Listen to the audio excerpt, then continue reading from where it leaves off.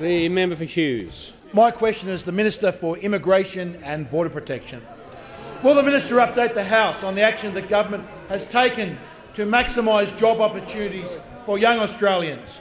And how is the government ensuring that our immigration program puts hard-working Australian workers first? The Minister for Immigration and Border Protection.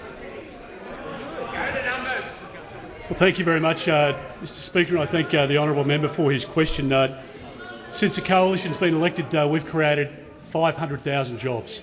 And we are proud of the fact, Mr Speaker, that we are presiding over an economy where we put Australian workers first. We have looked at the experience of Labor when they were in government, and we know that uh, many people around the country, when they talk about this Leader of the Opposition, they say that he can't be trusted. There's something about this Leader of the Opposition that is not right. He's just not right, he's not genuine, and I'll tell you why. I'll give you one example, Mr Speaker because when the Leader of the Opposition was the Employment Minister back in the golden years of the Rudd-Gillard-Rudd period, he presided over the 457 program, which brought foreign workers into our country to displace some Australian workers.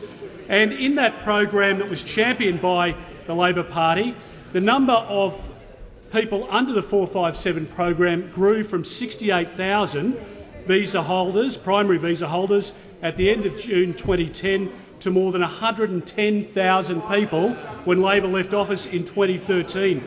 Now, Mr Speaker, we have cleaned up Labor's mess and we have seen a reduction in the number of foreign workers coming into this country because we have put, we have put Australian workers first. And that is, uh, that is the reality under this government, Mr Speaker. Now, there are many other examples in the checkered history of the Leader of the Opposition which you could point to, which shows that, yes, he is not a genuine person.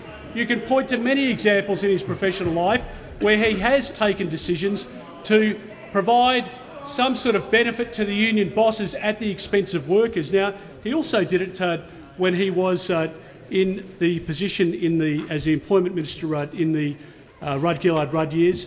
He took uh, decisions which were to the detriment of workers. There is no, there is no question about that, Mr Speaker.